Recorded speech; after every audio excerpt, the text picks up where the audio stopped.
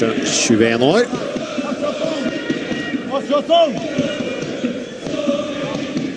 Kaptein Aursnes. To armer i været. Og der er Wee! Og får satt hodet til den!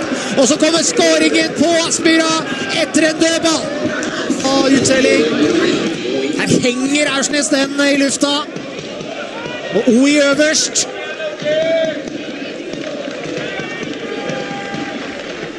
Styrer den tilbake. Det er Samsted der da, som blir stående og bryte med OI. Og... Iversen, Ørsnes, OI, Breivik.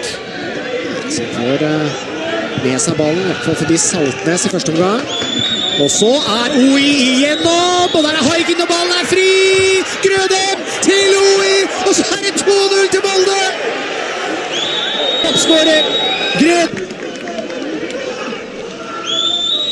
God jobb også av Ola Brynildsen. Haikin mister da den ballen. Drøde, kjemper den tilbake til OI.